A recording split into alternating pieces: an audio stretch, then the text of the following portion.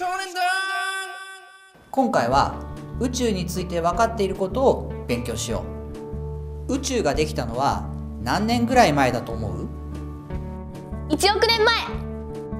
いやもっと昔でしょ。10億年前。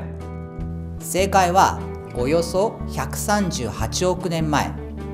ビッグバンっていう大爆発で宇宙は始まったんだ太陽系が完成したのは46億年前。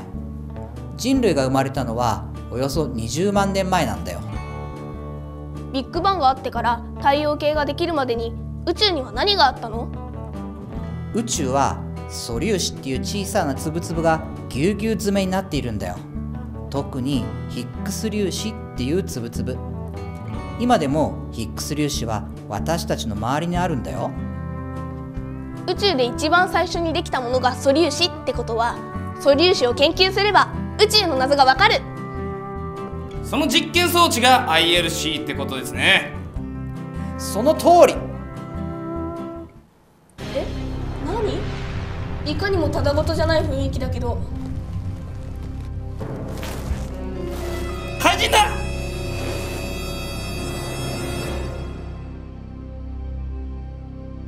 シノにあの技なら倒せるよ。いやでもパワー不足だ。そうだ。今までの問題を復習して今からの問題全問正解してくれ。第1問。理由のわからない現象が目の前で起きた。科学者はどうした？1現実逃避。2怪奇現象だと思う。3その理由が何か調べて真実に迫ってみたいと思う。そう正解は3わからないことがあったら調べて真実に迫ろう。みんないいぞ。あと1問だ。そして全問正解してパワーをフルパワーにしてくれ。宇宙の謎に迫る実験装置は？1DNA2ILC3TCN 正解は2の ILC みんな全問正解だよ。ということでシノにい